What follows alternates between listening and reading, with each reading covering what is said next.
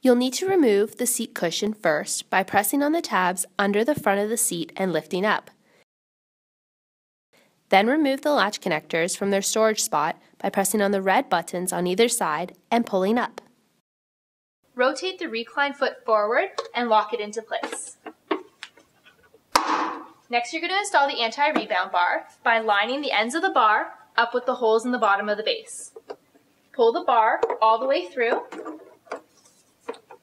To secure the anti-rebound bar in place, you're going to want to go from the inside out, lining the locking pin up with the hole in the plastic shell, going straight through both sides of the metal bar.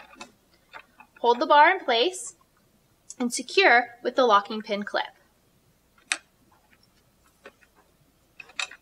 Do the same thing on the other side.